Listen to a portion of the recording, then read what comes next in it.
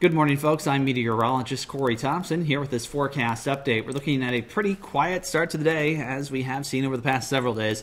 Some patchy fog, though, mostly in our northeastern counties. That's a bit of a shift from the other days, and it is less widespread than we saw yesterday, for example. Otherwise, mostly sunny skies will greet us as we start the day. Winds out of the southeast will also be there. That will help push our temperatures higher already today.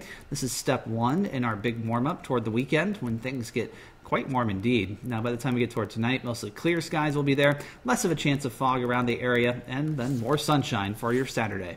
Temperatures today reach the upper 70s to mid 80s, depending on where you're at. The coolest temperatures in the northeast zone. We'll be looking at those winds again, southeast between about 10 to 20 miles per hour at times, so a bit breezy. We'll keep that with us through the weekend. That helps keep our highs very warm. We'll be in the upper 80s to low 90s, close to records on Saturday, even still pretty close on Sunday, too. Otherwise, looking at a fairly uh, warm stretch to start off next week and then much cooler by the end of it. It still appears that we're headed toward at least a temporary cool down by the uh, time we get toward the following weekend. Low to mid 60s, maybe the best we can manage for highs. Thanks for watching this update.